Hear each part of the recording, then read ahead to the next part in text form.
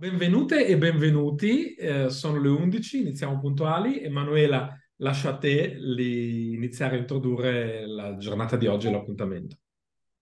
Intanto grazie a tutte e a tutti coloro che stanno intervenendo oggi e eh, come diceva Marco, questo webinar verrà registrato per poi essere condivisibile e rivedibile anche in altri momenti. È chiaro che è stato programmato per questa giornata perché questa è la giornata che è dedicata al contrasto della violenza sulle donne. E, ehm, e la cooperativa, lo sapete, è sempre impegnata uh, in, um, in, quei momenti che servono per uh, accrescere, migliorare anche l'aspetto culturale eh, della nostra comunità e in generale delle persone che eh, girano intorno a noi e quindi parliamo dei nostri collaboratori, parliamo di chi ci viene a trovare. Eh, questo è un impegno che ci prendiamo sempre e quindi anche in questa giornata volevamo eh, dare il nostro contributo e abbiamo scelto come argomento quello della lingua, quello del linguaggio, nella piena convinzione che eh, dalle nostre parole si formino i nostri pensieri e dai nostri pensieri poi si formino le nostre azioni. Ma con le nostre parole condizioniamo non solo le nostre azioni, ma condizioniamo anche coloro che ecco qua che un nuovo partecipante, condizioniamo anche coloro che sono intorno a noi e io siccome sono una mamma di bambine ancora piccoline penso sempre a quale condizionamento le nostre parole possono avere sui nostri figli. Le parole nostre, le parole che utilizzano i media, le parole che utilizzano i giornalisti. Scusa Marco, prendo veramente pochi minuti per dire Ma che... guarda, anzi grazie perché mi stai spianando la strada. per dire che ahimè ehm, in questi giorni queste tematiche sono estremamente attuali perché gli ultimi fatti di cronaca ci hanno fatto sentire e parlare tantissimo. Ma questo webinar è stato programmato molto prima perché comunque non è un episodio di cronaca, ma ahimè sono continui episodi, non tutti hanno questa, eh, questa diciamo, eh, importata mediatica, ma ce ne sono continuamente. E eh, in, in, queste occasioni, quante volte sentiamo ripetere parole come eh, l'amore ha ucciso, l'ennesimo, ehm, l'ennesimo amore troppo eh, forte. No, non parliamo d'amore, non parliamo di questo, dobbiamo veramente pensare che la, il nostro linguaggio veramente condiziona nostre, i nostri pensieri. Tantissime volte in questo periodo ho sentito dire no, ma non sono, mm, ma, ma, mm, il, mio, eh, il mio, mio papà, il mio compagno, il mio amico mi lasciano libera, mi lasciano libera, quindi sono persone giuste. Eh, questi sono esempi di parole che utilizziamo tutti i giorni e che probabilmente però eh, portano dietro con sé dei concetti che eh, devono essere superati. Parliamo appunto di parole, parole eh, inclusive, parole che portano all'inclusività e alla parità. Sono parole, anche inclusività e parità, che probabilmente in questi ultimi anni eh, sono quasi abusate, le sentiamo così tanto che potrebbero venirci anche a noia. Ma ahimè, per passare ad un cambiamento culturale, certe parole devono diventare quasi noiose perché devono entrare talmente tanto nel nostro quotidiano da diventare assolutamente scontate.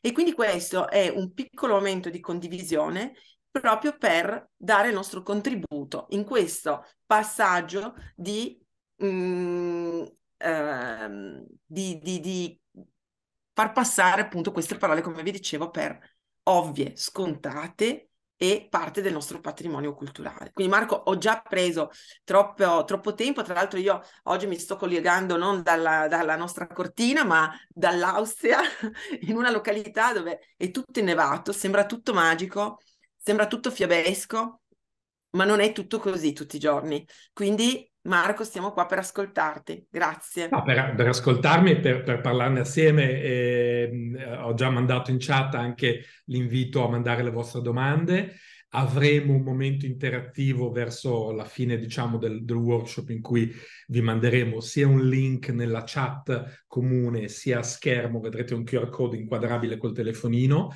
dove vi faremo un piccolo quiz, diciamo, per mettere in pratica quanto non solo tutto quello che ha detto Emanuele sia vero, ma quanto sia scivoloso anche il linguaggio, quanto sia troppo facile usare termini che, che poi hanno effetti indesiderati o sgradevoli, ma possiamo vivere serenamente sapendo che sarà facile sbagliare e, e sbaglieremo tutte e tutti sempre, no, non sarà questo il problema, il problema è la consapevolezza e eh, non solo... Sentiamo quanto il linguaggio forma il pensiero, forma le azioni, ma è proprio una cosa nota, una cosa studiata, ricercata, lo vedremo in alcune, in alcune slide. Quindi è, è, una verità scientifica che come parliamo plasma come pensiamo e come, e come agiamo, diciamo. Io quindi, senza attendere oltre, passo a condividere le slide. Abbiamo chiamato l'equalingua, eh, questo, questo eh, laboratorio, diciamo così, eh, perché, perché, l'equità è un concetto ehm, che tratto abbastanza spesso quando parliamo di sostenibilità ed è, ed è un concetto ehm, complicato, perché è sempre semplice, la giustizia, un pezzo a te, un pezzo a me, ma non è così, l'equità vuol dire mettere tutti e tutte nelle stesse condizioni, quindi Don Milani diceva sempre non c'è niente di più ingiusto che fare parti uguali tra diversi, e, e quindi mettersi nei panni dell'altro. Mi, mi, mi presento velocemente, io mi chiamo Marco Massarotto, sono il fondatore di Cortina Academy, mi, sono occupato di comunicazione con uh, varie agenzie e attività imprenditoriali negli anni, sono un formatore di Challenge Network da tanti anni e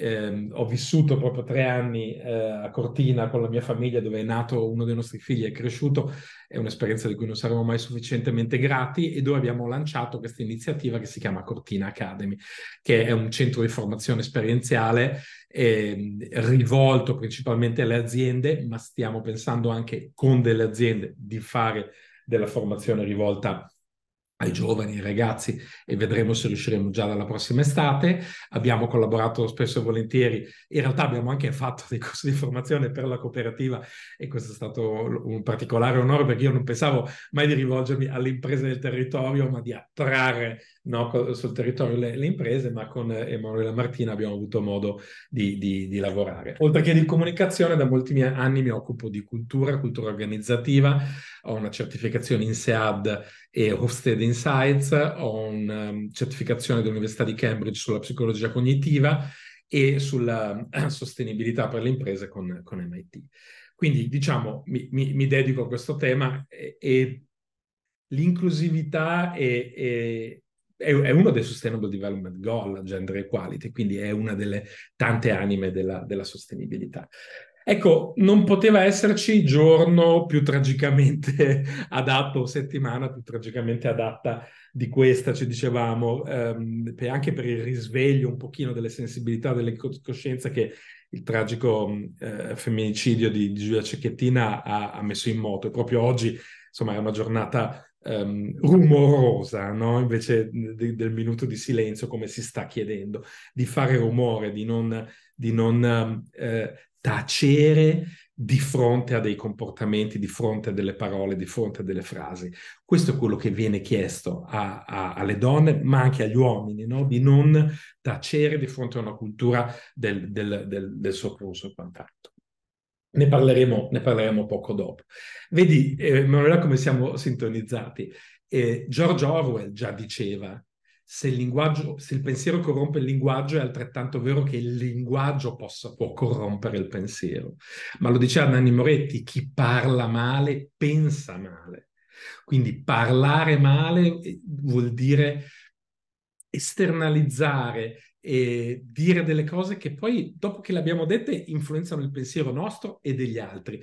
Ma eh, sono andato a riguardarmi la definizione di significato, di significare. Il significato non è una cosa nascosta dentro un'idea, è un qualcosa, significa fare segno, rendere segno verbale o scritto qualcosa.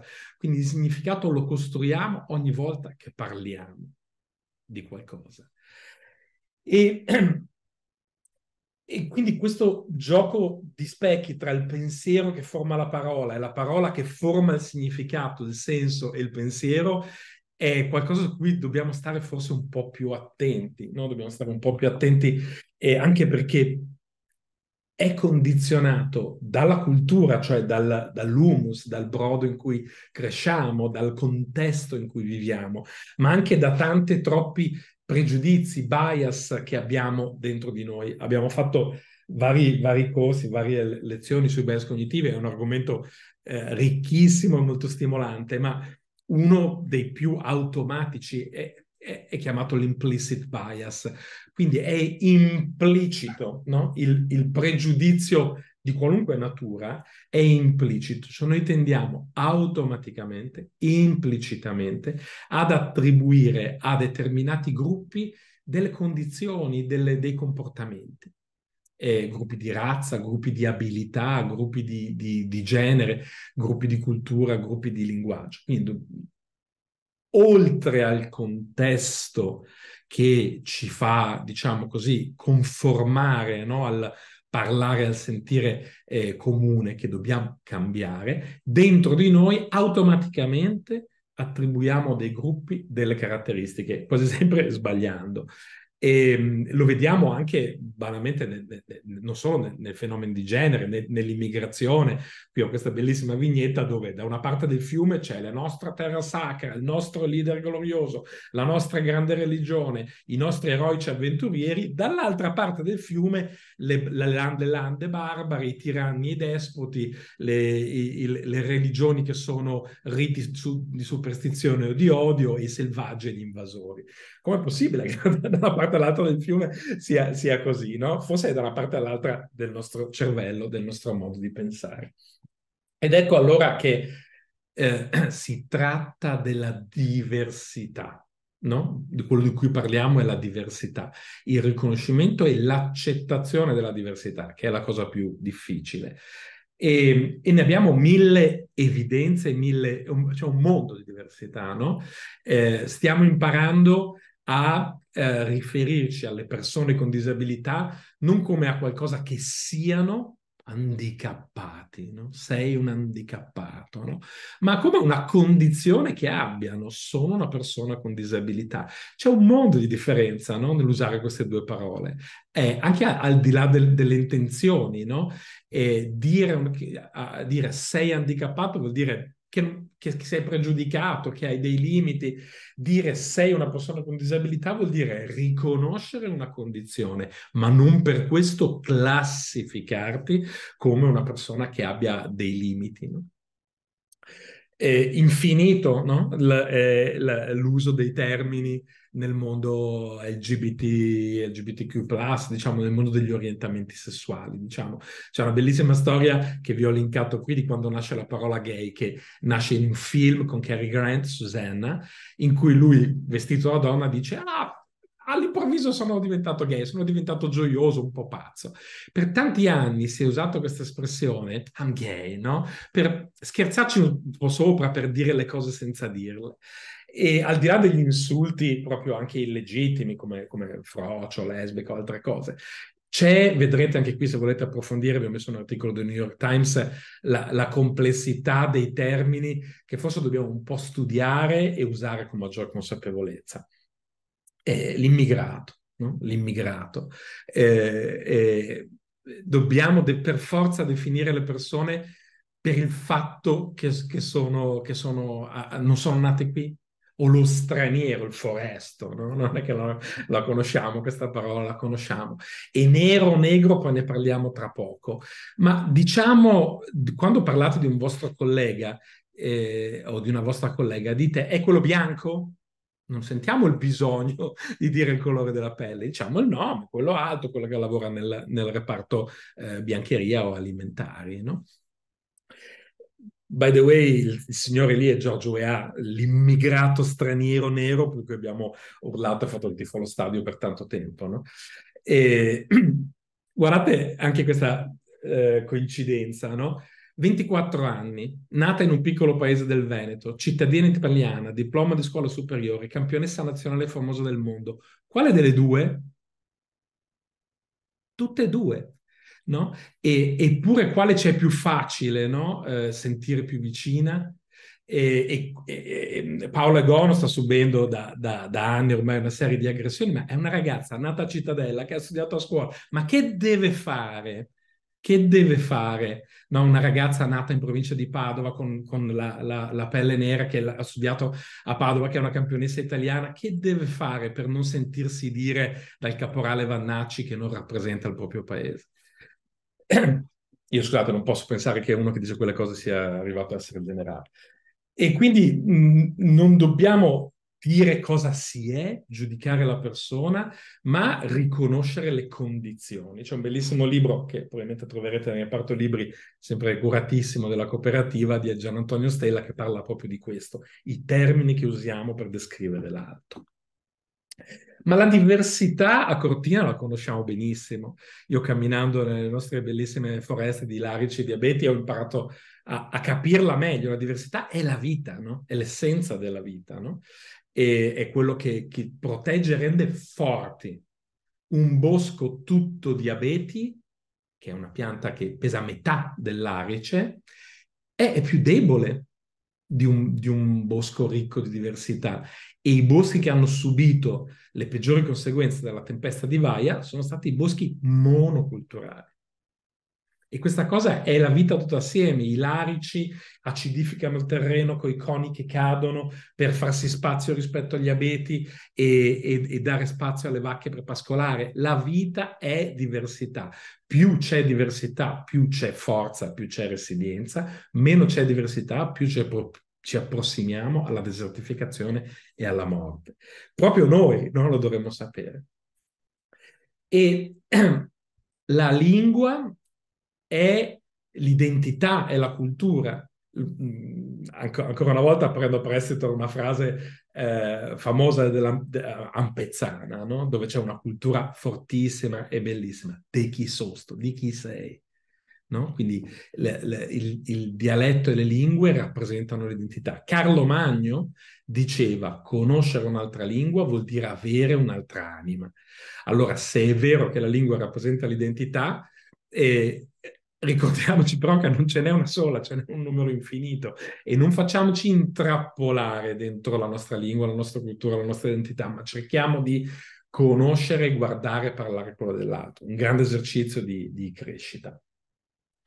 E anche un'altra cosa che voglio dirvi, ho lavorato sulle Olimpiadi di Tokyo 2020 e sotto vari aspetti. Attenzione che le Olimpiadi non, non, non, sempre eh, non ci rendono gratuitamente necessariamente migliori, ma sono delle lenti di ingrandimento che mostrano anche i, i problemi. A Tokyo il presidente del comitato olimpico del, del NOC, del, del comitato olimpico giapponese, Mori, un simpatico vecchiardo di 82 anni, e, che era stato primo ministro, cioè non l'ultimo arrivato, si è dovuto dimettere prima delle Olimpiadi perché a fronte della richiesta del CIO, Comitato Olimpico Internazionale, di avere almeno no, l'equità nel board delle Olimpiadi in termini di uomini e di donne, ha risposto, eh, ma così non si decide mai nulla, le donne parlano troppo ma, ma, neanche alla quarta grolla in una taverna è accettabile un linguaggio del genere, no?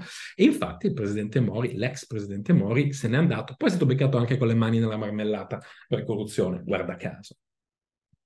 Allora, la lingua, la cultura, eh, co- come, ehm, come, come, impattano sulla, sul comportamento, sulla violenza. Lo vediamo tra pochissimo, ma prima ho preso questa foto de, de, del dialetto veneto che ho trovato a Treviso, no palparo tichignare, lo capiamo, no? Teniamo le mani a posto, gli occhi a posto, la bocca a posto. Lo, lo capiamo cosa vuol dire, no? È nel sentimento popolare, diciamo. Allora, perché a volte non riusciamo a farlo o c'è qualcuno che non riesce a farlo, perché c'è qualcosa di più forte che non ha messo sotto controllo. Ecco, prendiamo la saggezza popolare e capiamo che è abbastanza semplice capire quello che è giusto e quello che no. Vi lascio anche questo bellissimo sito che si chiama Parlare Civile, dove trovate la storia dei termini e, e, il loro uso, che è molto interessante. Ve ne faccio vedere alcuni scorrendo. Prima prendo, eh, per, per capire, ve ne faccio vedere alcuni per capire quanto non è mai bianco o nero, no? E è l'uso, la storia della parola che determina degli effetti, dei, dei, dei, dei, sentimenti degli stati nell'altro. Poco importa cosa, come suona a noi, noi dobbiamo imparare a cominciare a chiederci come quella parola suona a chi la rivolgiamo. Questo è l'importante. E vi faccio un esempio di un dialogo tra un influencer, Cristiano Carriero, una persona su Facebook e una famosa giornalista, Giulia Blasi, che scrive moltissimo sull'argomento, specialmente su Valigia Blu, che è un sito del, dell'organizzazione del Festival Internazionale del Giornalismo, quindi un buon punto di partenza per chi vuole approfondire. Allora, l'influencer dice, una frase che mi dà fastidio è quando dobbiamo dire una parolaccia in una riunione da qualche parte e diciamo, chiediamo scusa alle signore, eh? Ma, ma perché anche le donne dicono le parolacce, no? E uno gli risponde, ma insomma un po' di galanteria. E Giulia giustamente dice, ma la galanteria è una forma di sessismo. Perché gli uomini devono proteggere le donne da cosa? Devi dire una parolaccia, dilla, non scusarti con le signore, non c'è bisogno, le diciamo anche noi e cominciamo a non pensare che le donne siano il sesso debole, per esempio, no? Quindi quante piccole pieghe si nascondono nelle parole nel linguaggio. Ma anche ho scoperto questa cosa mentre facevo le slide, bellissima. Uh, I datteri, tra l'altro, una, li mangiate, no? Perché c'era una parete piena in cooperativa, li, li compriamo sempre anche noi. Allora, i datteri ci piacciono, ma chi vende i datteri, sapete come si chiama in arabo chi vende il dattero? Il tammar. Cioè il tammaro, il tamarro, è il venditore di datteri. Quindi pensate da quanto tempo noi dateli li prendiamo, ma tu sei un tamaro, no? Cioè, ma quanto usiamo le lingue degli altri per essere discriminatori e, e, denigratori. Non solo la nostra non ci basta, prendiamo anche a prestito i termini per usarli in questo modo. E, negro, no?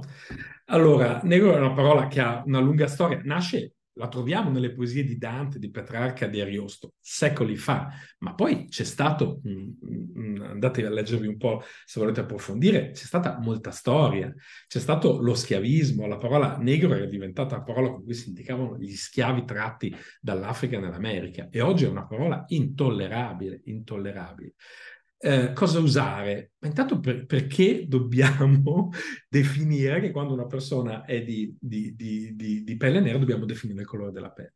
Diciamo mh, Franco o John o l, l, al limite usiamo la nazionalità se dobbiamo dire qualcosa. Al limite usiamo nero e non, e non negro. Ma anche la persona di colore è diventata una persona, e, e l'espressione, scusate, di colore, è diventata un'espressione già ambigua perché troppo politically correct. Tra un po' parliamo di cosa vuol dire politically correct. Allora, eh, è difficile, no? Non nessuno pretende da nessuno e da nessuno la perfezione, ma la consapevolezza, un po' di, eh, di... D'altronde anche l'espressione le persone di colore. Le persone di colore, guardate la vignetta lì in alto, sono tutte quelle che non sono bianche. Noi, no? Perché non, non diciamo il bianco? No? Il, e, e, quindi eh, poniamoci delle domande, questo sarebbe già un grande passo in avanti. E poi ecco sì, l'amore, il delitto amoroso. Eh, il professor Galimberti ha proprio detto l'altro giorno in, televisione, non c'è nessun raptus di follia. Il raptus di follia non esiste nemmeno in psicologia, è, un, è una fantasia. Il raptus di follia cos'è? Comprare su Amazon lo scotch per legare i polsi della compagna che ucciderai tre giorni dopo, mettere in macchina il coltello, fissare un appuntamento che è un agguato. Ma quale raptus? È una, un'azione che monta da tante cose, no? evidentemente. Io non voglio, non posso interpretare il comportamento di, di Turretta, ma eh, il professor Gellenberg ci dice, guardate che non esistono i raptus, esistono le condizioni di, di una persona, il disagio che, che cresce e che monta, il delitto passionale. Eh, ma non fa neanche ridere, fa piangere, eppure, eppure l'abbiamo avuto lo vedremo tra poco, fino a, da quando eravamo ragazzini noi. E poi la diversità, la normalità, la, la, ecco qua vi metto la, la faccia del caporale Vannacci, no? che dice ah, la, normalità è quello, è, è quello, che sta nella norma, ma non è vero, perché se noi def- mappiamo i comportamenti delle persone, c'è una maggioranza che si comporta in un modo e, una, e tante minoranze che si comportano e hanno altri gusti e preferenze, e la normalità è tutto, è il comportamento di tutti, quelli che lo facciamo in tanti perché ci piacciono gli spaghetti e quelli che ci piacciono la pasta di, di, di, di integrale. Siamo tutti normali, anche purtroppo il caporale Vannacci.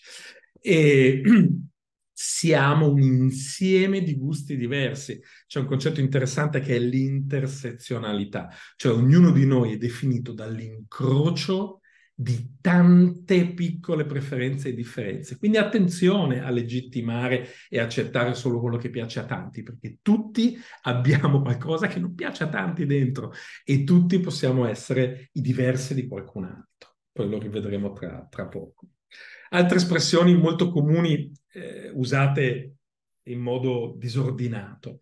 Il coming out e l'outing, ci riferiamo a l'omosessualità e le preferenze sessuali, non sono la stessa cosa. Coming out è quando io decido di rivelare mia, le mie preferenze sessuali e la mia, la mia omosessualità. Io decido di farlo a chi? Ed è, viene da coming out of the closet, uscire dalla, dall'armadio, dallo sgabuzzino dove, dove nascondevo una parte di me. L'outing è quando un'altra persona decide, senza il consenso o l'informazione di rivelare il mio orientamento sessuale. Un atto di violenza, di esposizione. Quindi attenzione anche per, per quello si parla di pride, no? per avere l'orgoglio, ma la, la sicurezza, la serenità di poter dire chi sono e cosa sono. Femminicidio è un'altra parola complicata perché addirittura ha nell'inglese due varianti, il femicide che vuol dire l'uccisione della donna il femminicidio viene dallo spagnolo che è una specie di genocidio, cioè di voler ridurre eh, le, le, donne. Vi lascio qui veramente se non andiamo troppo a, a parlarne, ma se, se, non ci stupiamo di definire una forma di omicidio come ad esempio l'omicidio stradale, che è definito anche dal punto di vista giuridico, perché sentiamo che ha delle caratteristiche particolari, ma perché dobbiamo rompere le scatole se nemmeno nel diritto ma nella cultura pensiamo di definire un episodio che è la punta dell'iceberg della violenza di genere come il femminicidio? Che problema ci crea? Vi lascio un altro libro di una giovane scrittrice eh, diventata molto popolare in questi giorni, Valeria Fonte. C'è un passaggio interessante, no? Eh, la validazione degli altri maschi, no? il sentirsi maschio, uomo, accettato dagli altri. E dice, l'ossessione degli uomini non sono le donne, sono gli altri uomini. La, la misoginia è il non, non sentirsi accettati dal branco perché la propria donna ti ha lasciato quindi è un insight, un punto di vista estremamente delicato. Allora, nessuno sta mettendo sotto accusa, nessuno, leggo in questi giorni, ah, ma io non devo chiedere scusa, ma chi ti ha chiesto di chiedere scusa a nessuno? Ma possiamo non stare più zitti di fronte a un linguaggio incivile inaccettabile e non chiamarlo locker room talk, linguaggio da spogliatoio, ma chiamarlo linguaggio d'odio, linguaggio di violenza? Possiamo farlo? Possiamo anche chi vuole almeno di noi uomini cominciare a dirlo senza sentirsi in colpa, no? E ecco, qui di Manuela, tu dicevi prima il linguaggio, l'influenza del pensiero, l'influenza delle azioni. Questa cosa è nota e studiata nell'università da, da, decenni. Dopo lo vedremo, il suo autore si chiama Gordon Alport, nel 1947 ha disegnato la, la, la piramide. La piramide della cultura dello stupro, della violenza, è fatta così.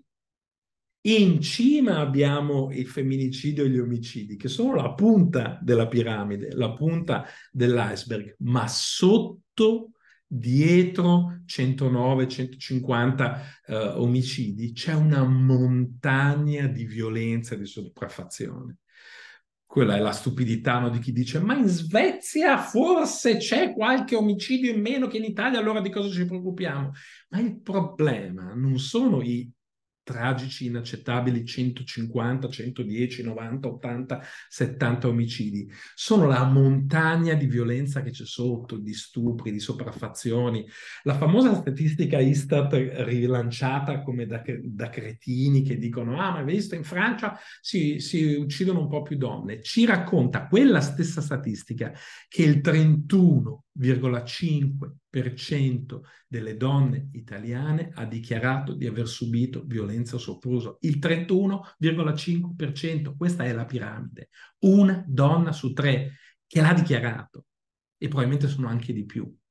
Questo è il problema, non, non la punta della piramide, la piramide, che comincia con il linguaggio, prosegue con la discriminazione, avanza con il sopruso, la violenza e le molestie e arriva fino a, fortunatamente, la punta che è ristretta, un numero, seppur tragico, inferiore di, di, di omicidi, che fino al 1981 erano legali. Lo stupro, se io poi ti sposavo un'ulteriore violenza, ero, non era più una, una, un reato. 1981. Cioè, stiamo appena, cioè io ragazzino, non eravamo ragazzini noi, cioè stiamo appena appena aprendo gli occhi su un fenomeno che ha secoli di storia e che era talmente integrato nella cultura, che era integrato nella legge, il delitto d'onore. Cioè, se, se, se un uomo tradiva una donna, sti cazzi. Se una donna tradiva un uomo, la potevi uccidere, avevi una, una, pena ridotta a tre anni, che è niente, non vai neanche in galera con la condizionale in Italia. Questo 20, 30, 40 anni fa, appena adesso, cioè sti, stiamo facendo grandi passi, ma insomma, per fortuna i primi stiamo facendo, no? Allora, vediamo un po' la molestia sessuale, un altro termine eh, molto ambiguo, oggettivamente molto ambiguo, anche dal punto di vista giuridico, ma fortunatamente sempre di meno. Tante organizzazioni stanno definendo quello che è accettabile e quello che no.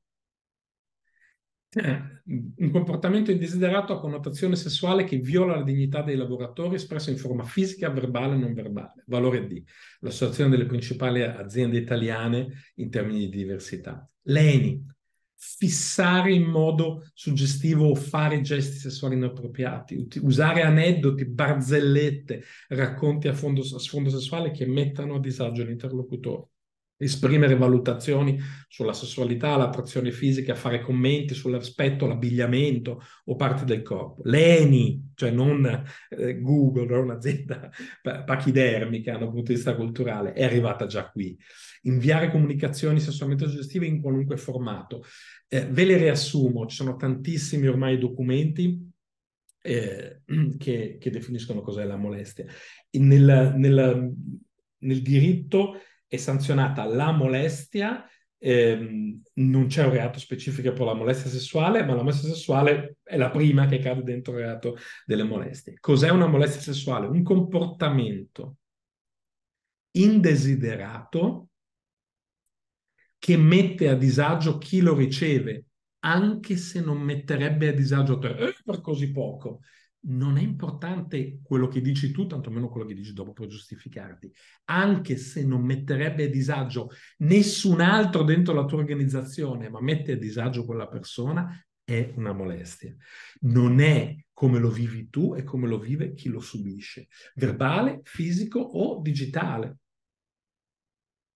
può essere anche una parola, può essere anche un messaggio, può essere anche il mostrare delle foto, non sempre non solo toccare, anzi quando si arriva a toccare si arriva a sconfinare facilmente con la violenza eh, sessuale, che è più grave della molestia.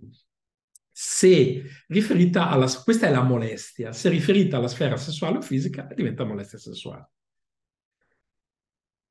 Poco importa che io sia un tuo superiore, è aggravata dall'abuso di potere, ma non è necessario che lo faccia una, posiz- una persona in posizione di potere perché sia molestia sessuale. Basta che sia indesiderata, che crei disagio, in qualunque forma si esprime, verbale, fisica o digitale.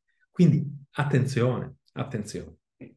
La violenza sessuale invece significa costringere una persona a subire atti sessuali anche in forma di inganno, anche approfittando delle condizioni di inferiorità fisica o psichica, per esempio una persona ubriaca, peggio se la, gli dai tu una pillola.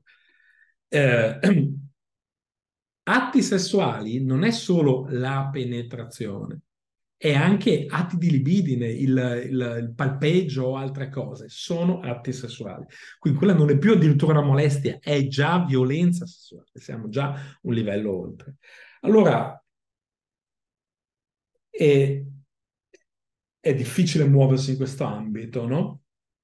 Perché poi abbiamo situazioni in cui un atto di molestia di violenza mi detto eh, per un complimento. Quello non è un complimento.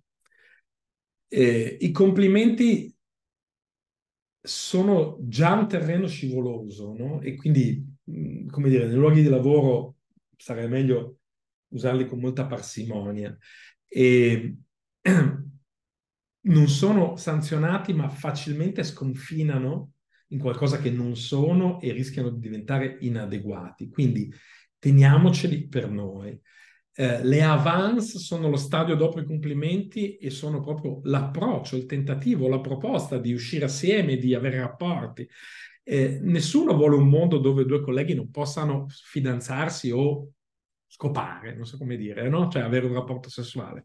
Eh, va benissimo, non c'è niente di male, ma è ehm, eh, un incontro eh, di, di, di consenso eh, le avance diventano già zona arancione, no? eh, vicinissima alla molestia e devono rappresentare l'eccezionalità e la sincerità del sentimento che c'è dietro. L'eccezionalità e la sincerità del sentimento che c'è dietro. Cioè, è un attimo passare da quello che pensiamo un complimento sincero, e il più delle volte è una scusa per giustificare un atto di sopraffazione o di autoaffermazione, di, di, di, di scherzo tra, tra maschi, no? in qualche modo. La molestia è, come abbiamo visto, il comportamento non sollecitato, indesiderato, che crea disagio.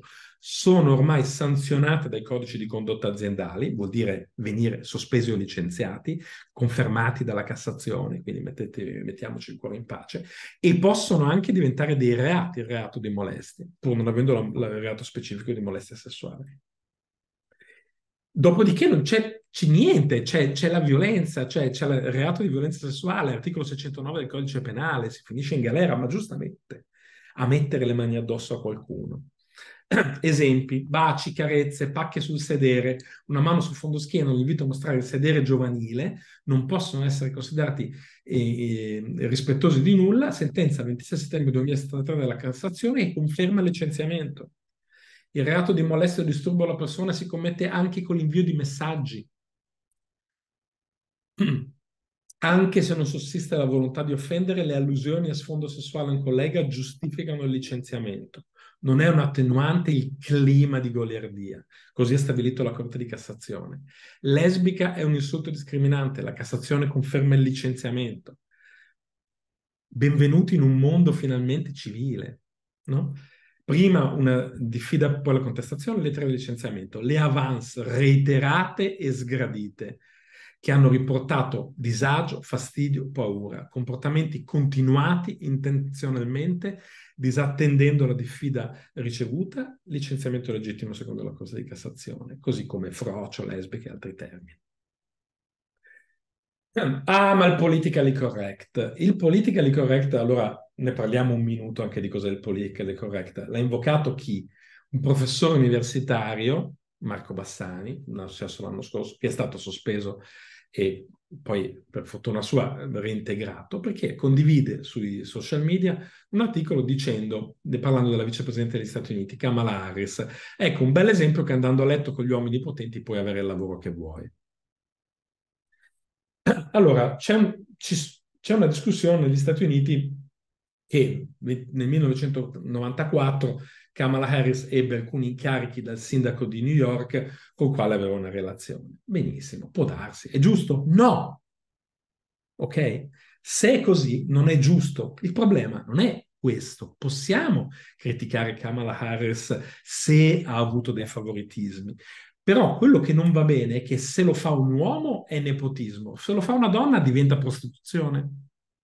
È l'oggettificazione della donna che non va bene, non il criticarla, ma il trasformarla in oggetto sessuale. Allora, il politically correct, che è un termine che ha una storia lunga e complicatissima, spacca un po' i paesi in due, no? Ma chi ce l'ha col politically correct? Donald Trump. Perché? Perché dice che gli immigrati messicani sono eh, eh, tutti portatori di droga, di crimine e violentatori, sotto una ragazzina immigrata messicana che dice io veramente non sono né una, una spacciatrice né una, né una stupratrice, sono una ragazzina che si sta trasferendo qua. Eh, allora, eh, guarda caso, i maschi bianchi di destra americani hanno un problema con le politically correct, cioè pensano che la gente si offende troppo facilmente. Le persone di colore pensano che la gente dovrebbe stare più attenta a come parla. Allora, un termine che è diventato come tanti altri, no? poi oggetto di, di, un dibattito sociale, ma il tema è il rispetto e da una carica istituzionale ce lo dovremmo aspettare più che dagli altri. La cancel culture.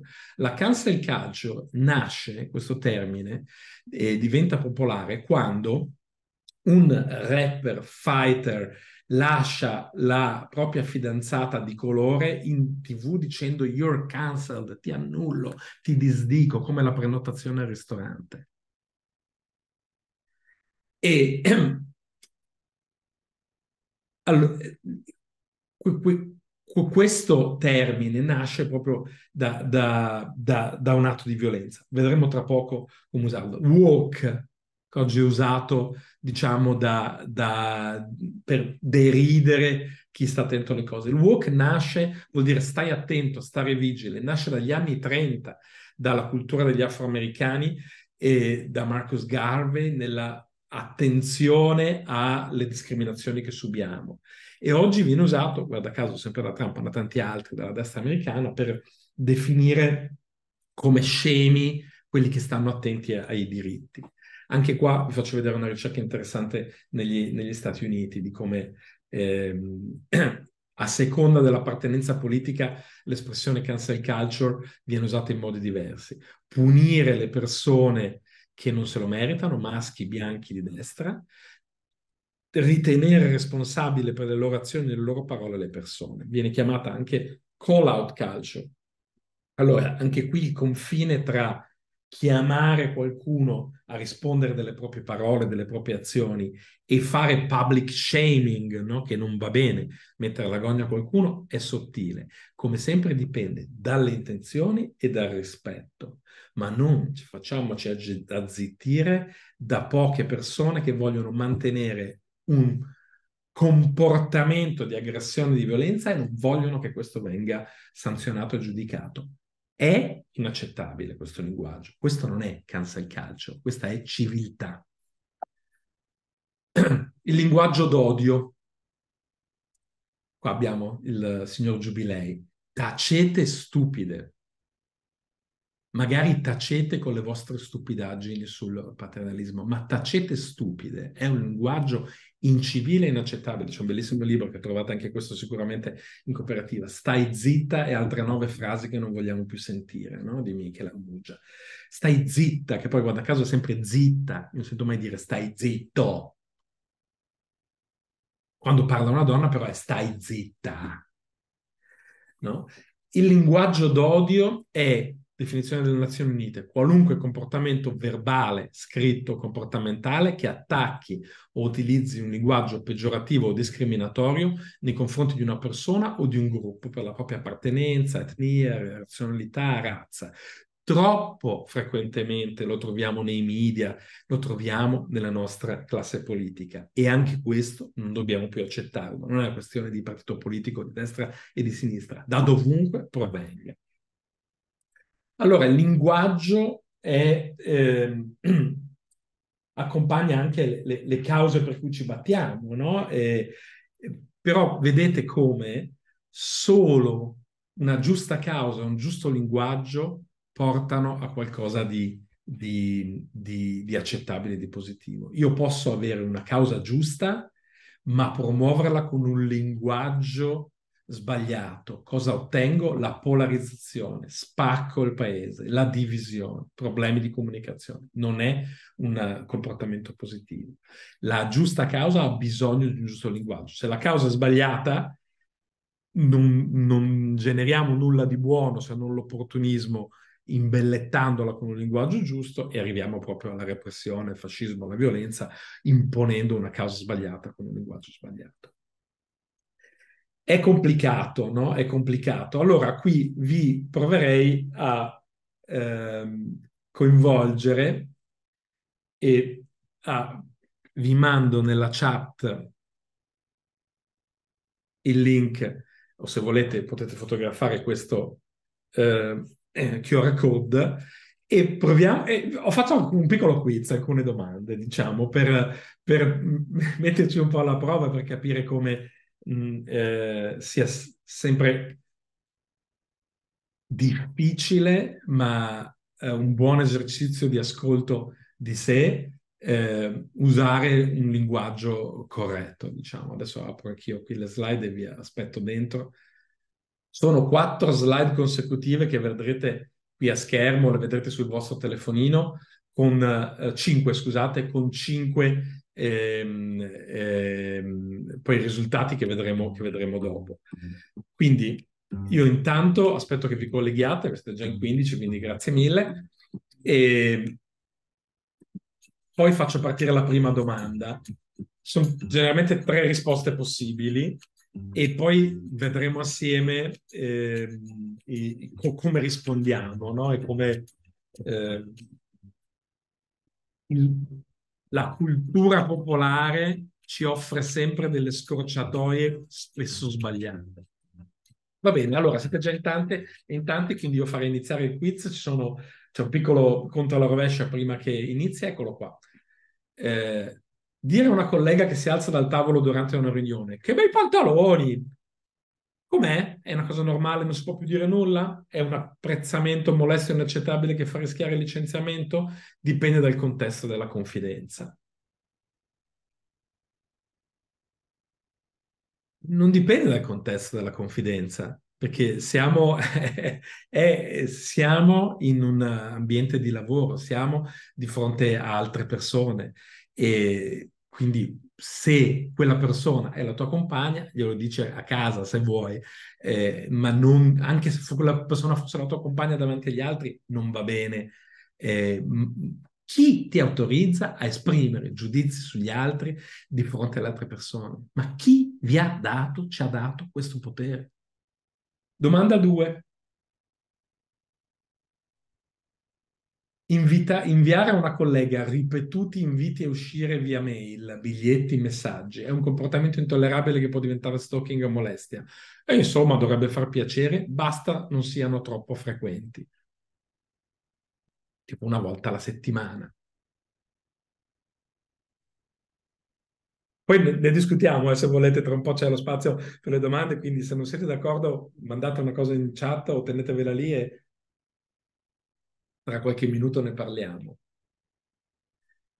Quindi invitare ogni settimana un collega o una collega uh, a uscire che ha detto di no, va bene, ogni settimana, cioè ogni lunedì, no? Lunedì man- ti mando un invito, ti dico, ah, mi farebbe piacere una volta se volessimo uscire assieme.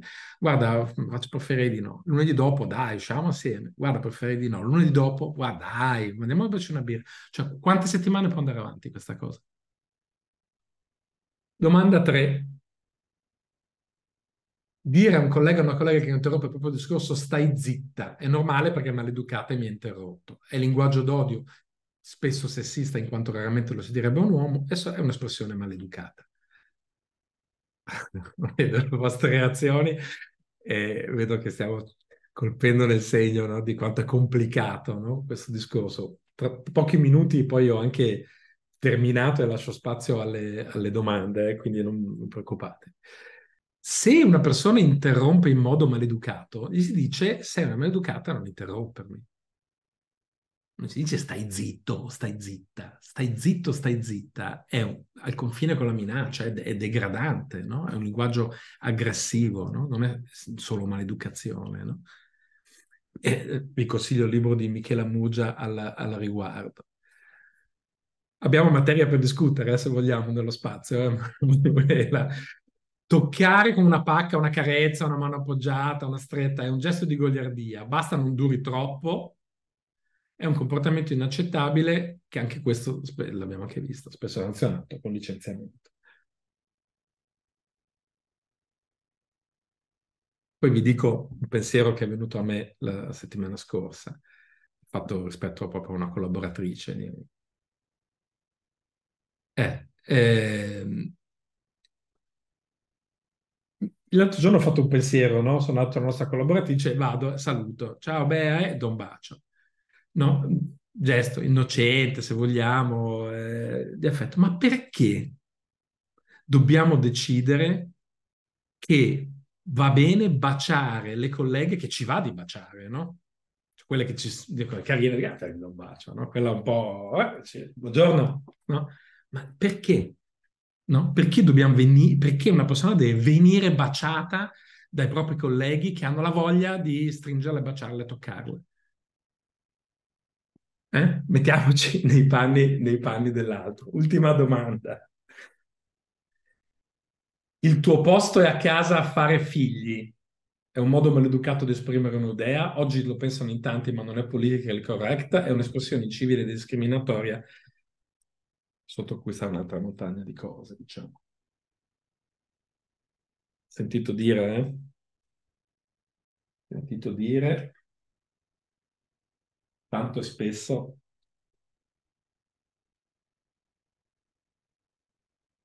Eh, qui vi vedo un po' più compatte e compatti, diciamo. Ok, allora, torno alle, alle mie slide. Un italiano su cinque condivide l'idea che le donne dovrebbero stare a casa e prendersi cura della famiglia. Solo su cinque. Attenzione che questa cifra del 20% non è uguale, no? È composta da persone 28% più anziani, 22% licenza media alimentare. Quindi è un pensiero sempre più da persone sempre più vecchie sempre meno eh, educate preparate. Seppur minoritario, ma il 20%, è una cifra enorme. Ma nella realtà cioè gli altri che dicono no, è inaccettabile, però quando gli si chiede ma chi si occupa della casa dei figli, nell'80% dei casi è la madre, quindi siamo tutti bravi a dirlo, ma non siamo tutti bravi a farlo. 81,9% è, è, è, la madre che si, occupa, che si occupa dei figli. Allora, a voglia, no? Se ne abbiamo da fare. Le donne guadagnano meno, lo riconosce il 40%, ma solo il 23% degli uomini, mentre il 55% delle donne riconosce che guadagna meno. Quindi abbiamo delle disparità di percezione o di dichiarazione e c'è un bel eh, salto ancora, ancora, da fare. Qui trovate il General Quality Index dei vari paesi europei, eh, la media europea è 70,2, noi siamo a 68, siamo sotto, vedete ci sono paesi sicuramente che stanno peggio di noi, paesi. ma poi la, la, vediamo divisa per inequalità al lavoro, nel potere, nella salute, nella, nella monetaria, nella conoscenza, nel tempo dedicato. Quindi per chi vuole approfondire ci sono tante statistiche interessanti. Allora, come ci dicevamo, parlare giusto è solo il primo passo. Eh, questa piramide che vedete nasce da 1954, Gordon Alport, uno psicologo americano che è stato il primo a studiare la personalità e i pregiudizi con un libro fondamentale che si chiama La natura del pregiudizio. E lui le chiamava le antilocuzioni, il linguaggio d'odio. Sono la base. Dopo, dopo il linguaggio d'odio, zitta, lesbica, no? eh, c'è l'emarginazione il non eh, coinvolgere le persone che discriminiamo. Poi c'è la discriminazione, il non metterle in condizione di fare le cose. Poi c'è l'attacco fisico e poi c'è eh, l'uccisione o la, o la sterminazione. Sotto i 109 femminicidi, che non sono questo triangolo arancione, sono la puntina, c'è una montagna per cui il 31,5% delle donne italiane ha dichiarato all'Istat di aver subito violenza. Una su tre eh, 28 milioni, 8-9 milioni di donne, non 109. Questa è la dimensione del problema. E se 8-9 milioni di donne hanno subito violenza, l'avranno subita tutte dagli stessi 10 pazzi? O l'avranno subita da 8-9 milioni di uomini? E i pregiudizi Poi mi è venuta in mente la frase bellissima di Luciano De Crescenzo, no? che siamo sempre meridionali di qualcun altro. No? E, e, quindi attenzione, perché accettare una cultura del pregiudizio non è solo ingiusto per chi sta subendo quel pregiudizio, una, vuol dire accettare una società ingiusta e prima o poi ne faremo i conti anche, anche, anche chi pensa di, di, non essere il meridionale o la donna o il gay di nessun altro. Allora cosa possiamo fare eh, o cosa dobbiamo fare, cosa possiamo fare, qual è il, eh, e, e, poi veramente concludo e lascio spazio a Emanuela e, e, vediamo se c'è qualche domanda o discussione, ma siete le benvenute e benvenuti a, a, esprimere non solo domande, ma anche mh, così discutere quello che abbiamo visto.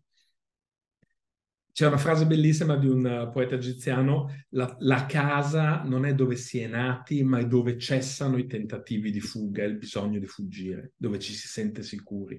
C'è un concetto molto importante nel, nelle organizzazioni, ma in generale, che si chiama la sicurezza psicologica.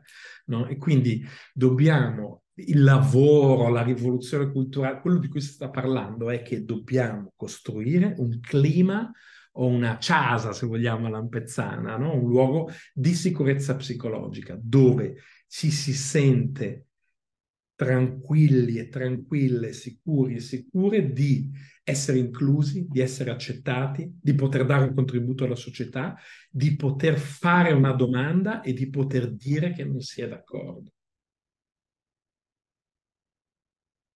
Non, ovviamente che non sia d'accordo ad avere un rapporto sessuale, ci mancherebbe altro, ma che non sia d'accordo, che non sia di dire no. La libertà di dire il proprio pensiero senza timore di conseguenze. Questo è il concetto di psychological safety, sempre più cardine. Google lo definisce the most important thing nel proprio uh, organizzazione HR ma questo è quello che ci deve essere, la libertà e sicurezza di eh, uscire per strada, di, di, sentirsi accettate, di dire la propria opinione senza timore di conseguenze. Sembra facile, ma siamo ancora lontanissimi ed è in, molto, molto importante. Vi lascio con questa bellissima foto che ho trovato del patinaggio e anche, guardate che c'è una parola pezzana bellissima, il grammarzia adute, no? Il grammarzia adute se non sbaglio, è, è una bellissima espressione neutra, perché quel dute vuol dire tutte e tutti, no? In qualche modo, o sbaglio, non lo so. Ho fatto un po' di ricerca, ma è sempre difficile. Ci vorrebbe Ernesto Maioni, ma qualcuno qua lo sa di sicuro. Allora, guardate che ricchezza c'è dentro anche la nostra storia e la nostra cultura.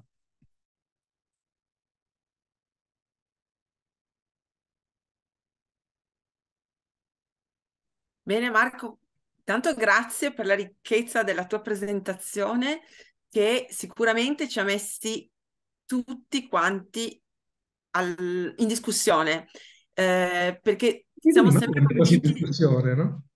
Non c'è, niente, non c'è, niente, di male a mettersi in discussione. No, era l'obiettivo della, di questa mattinata, perché per quanto eh, eh, possiamo immaginarci di aver sviluppato nel tempo una sensibilità su determinate tematiche, ma come dicevi durante l'introduzione, ci sono sempre quei bias che eh, ci portano a in, incorrere in degli errori e quindi questi momenti come quello che stiamo eh, passando insieme questa mattina servono, ehm, fanno bene anche quando ripetuti perché servono a tenerci allenati e ogni volta fare un passo in avanti. E eh, sono arrivate delle domande intanto perché eh, abbiamo persone che ci stanno seguendo online, ma abbiamo anche qualcuno che ci sta seguendo direttamente dalla cooperativa. Yes. Ehm, e, e, e, e, devo dire che il questionario finale, eh, come abbiamo visto, eh, ci ha, ehm, ci ha portati a scivolare qualche volta, nonostante tu ci avessi già dato tutte le istruzioni qualcuno eh, di noi, io, io, stessa, io per prima, abbiamo fatto qualche scivolone e quindi ci piacerebbe eh, vedere... Eh, Guarda, la, montagna, la montagna, è una grande, è una grande maestra, no? Quando imbocchiamo le scorciatoie dobbiamo stare ancora più attenti verso noi stessi a dove mettiamo i piedi, no? Perché sì. è ancora più facile scivolare, lo sappiamo, quindi è una grande cultura molto educativa, no? E, e, ecco, abbiamo mh, la richiesta proprio di approfondire in particolare due domande e quindi le due risposte corrette. Eh, la prima era quella che eh, sulla, compli- sul complimento sui pantaloni, ecco, questo ci chiedevano in particolare, perché eh, diciamo che la risposta corretta eh, conteneva l'ipotesi di licenziamento, che forse è un'affermazione molto forte, quindi no, adesso, molti... adesso la, la, la, vado a condividere. Eh, ecco, ecco qua. Eh, ma allora... Mh, mm, a, un, a, una persona che si alza e da un tavolo di sala riunioni si gira e esce, dire che bei pantaloni, uno sta dicendo che bel culo, cioè diciamoci la verità, non, non prendiamoci in giro, no? Cioè un apprezzamento del genere è un modo un po' furbesco di, di, di, di fare un apprezzamento di natura sessuale. Lo, lo, c'è arrivata Leni, Leni, non so come dire, che non è l'impresa più progressista del mondo, a ritenere che gli apprezzamenti sull'abbigliamento possono essere apprezzamenti di natura sessuale. Allora, nessuno sta dicendo, cioè dipende sempre dal contesto, dalle intenzioni, no? Eh, ma la scena descritta è una collega che si alza al tavolo durante una sala riunione, c'era una fotografia, cioè nel senso stiamo in un contesto poco ambiguo, no? se vogliamo. Allora, eh, è normale, non si può più dire nulla, si può dire tutto, ma non si può prendersi la libertà di fronte agli altri colleghi di fare un apprezzamento sessuale su una collega che viene oh, evidentemente sicuramente messa in imbarazzo. Questo no. Ma questo non vuol dire che non si può più dire nulla, si possono dire un sacco di cose, queste no una linea, no? C'è una linea, no? E, e, se proprio lo devi dire, tientela dentro, nel dubbio tientela dentro, no? In qualche modo. Fa rischiare il licenziamento, allora, probabilmente, come dire, eh, è, è un apprezzamento molesto e inaccettabile? Sì. Ci sono casi per cui persone che hanno reiterato questi comportamenti hanno avuto delle sanzioni da parte dell'organizzazione fino ad arrivare al licenziamento. Quindi vi sto, sto, dicendo, occhio, perché saranno sempre meno tollerate. E questa è la, tra virgolette, rivoluzione culturale che viene invocata oggi, no? la chiamata in causa degli uomini, che di fronte a questo linguaggio è faticoso e difficile sentire il clima di sicurezza psicologica per una donna per rispondere e c'è troppa, ve lo dico io spontaneamente, non mi sento obbligato, chiamato in causa a dirlo. C'è troppa connivenza maschile. Vorrei sentire un uomo che si gira e gli dice: Ma come ti permetti in quella riunione? Questo è un punto di partenza, non di arrivo. Sarebbe un punto di partenza che in quella riunione un uomo si girasse e dicesse: Ma come ti permetti? E, e, la vedo lontanina ancora, no? questa, questa, questa situazione. No? Scusa, Manuela, forse ce n'era anche un'altra che non, non dovevi... No, era, era, comunque questo il contesto eh, da cui si partiva. Eh, il, ed è un'affermazione eh, che in molte altre situazioni si è sentita molto dire anche quando è nato il movimento MeToo, eh, questa mh, potrebbe diventare una scusa per licenziare più facilmente. Però direi con, con la risposta che hai dato hai, hai, hai, chiarito benissimo di che cosa si sta parlando, eh, perché si tratta in questo momento di, era quello che dicevamo all'inizio, di entrare in un'ottica eh, in cui le parole sono importanti, le parole hanno un peso, le parole eh, soprattutto quando reiterate eh, formano un modo di pensare e formano la cultura in cui siamo immersi. Ci hai spiegato molto bene che addirittura l'ENI, una società così istituzionalizzata, così storica, eh, ha acceso un riflettore su quali sono i comportamenti corretti e quali non, li, non, lo sono. Quindi, come dicevamo all'inizio, questa deve essere anche una palestra per cominciare ad allenarci al fatto che certe cose non sono opportune, mettono in, in imbarazzo, eh, anche se è normale, l'hai detto tu all'inizio, che ancora si scivoli, però bisogna essere consapevoli. La consapevolezza è quello che oggi, questa ora passata insieme, ci può portare, ci ha portato e ci può portare. Quindi la discussione è normale e sana eh, perché ci serve a, mh, mm, ad illuminare un, un aspetto che al momento è assolutamente ritenuto normale, si dice dipende dal contesto, ma invece alla fine il contesto è quello lavorativo e quindi nel contesto lavorativo dobbiamo eh, comprendere che un complimento può essere fonte di imbarazzo e comunque una fonte di imbarazzo che difficilmente può essere esplicitata.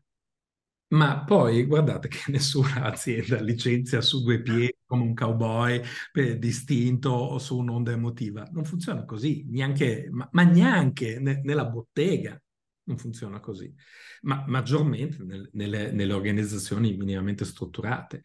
La eh, sentenza che vi leggevo della Corte di Cassazione, prima una di, leggo il, il, il paragrafetto qua sotto, prima una diffida, poi la contestazione, quindi la, la, lettera di licenziamento, quindi sono almeno tre volte con due diffide, ma sono molte di più. Avanzano su due colleghe reiterate e sgradite. Quindi io non vi sto dicendo no, che, sì, che eh, nello stesso secondo avviene il ecco a pantaloni, tac, licenziato.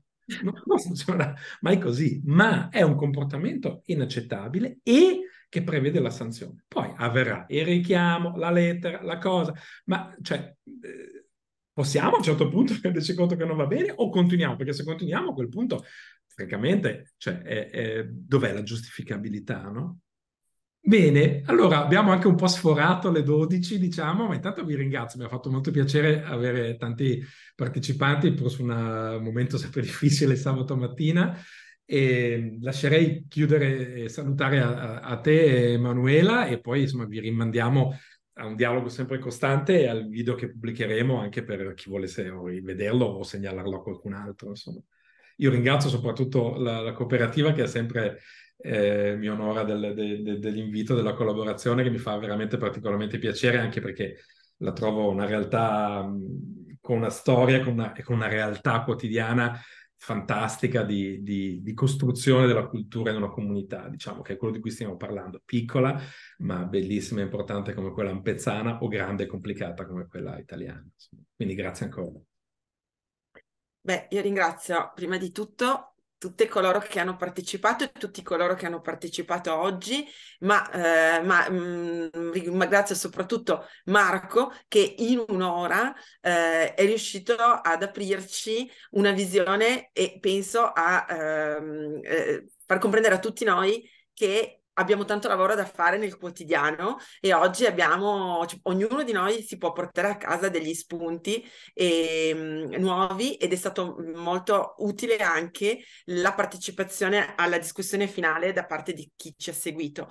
Eh, sono molto contenta anche che questo momento non si concluda qui, ma sia poi, ricordo, eh, sarà possibile rivederlo perché la puntata è stata registrata e quindi verrà poi resa disponibile sul canale YouTube della cooperativa e, e, credo che anche noi che oggi l'abbiamo seguito in diretta avremo il piacere di andare a riprendere alcuni passaggi eh, nella nostra vita quotidiana.